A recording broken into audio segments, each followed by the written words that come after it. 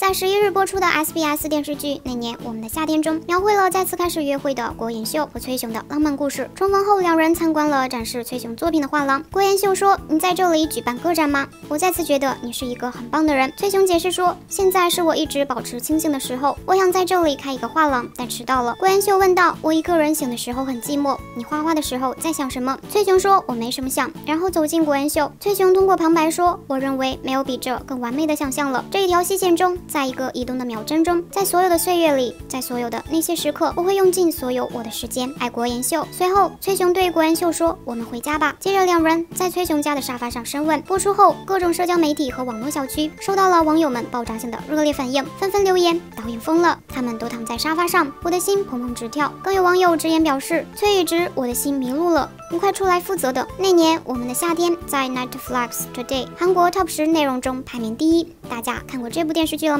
欢迎留言。爱豆韩社每日解说最新韩语，欢迎点赞和订阅哦。